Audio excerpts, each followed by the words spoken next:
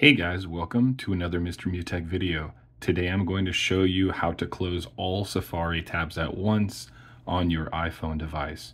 So if you open the Safari browser and you look in the bottom right corner, you will see a little stack type icon, which is your tabs.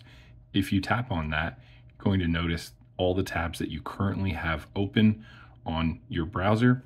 And as you can see in this example, I have seven tabs but there is no option in here to go ahead and close those out. So how do we close them all at once? Well, first tap on done if you're viewing the tabs that are currently open. And then once again, on this same exact icon in the bottom right corner, this little stack icon, go ahead and long press that. Once you long press that, you're going to see an option that pops up that says close all seven tabs.